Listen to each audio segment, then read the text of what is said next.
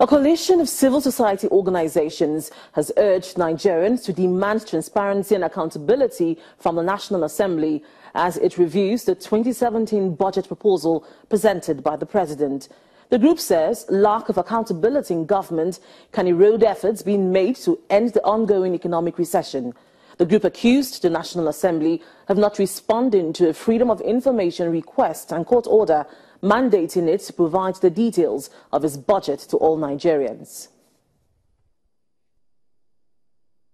Over the last three years, the National Assembly has refused to respond to Freedom of Information requests and the court order to provide its detailed budget.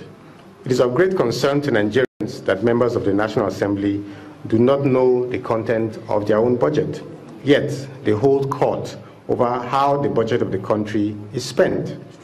Public auditing of spending by the National Assembly and several reports on allegations of corruption that have been investigated remain shrouded in secrecy. This does nothing for an institution that seeks to be responsive, accessible, representative, and accountable.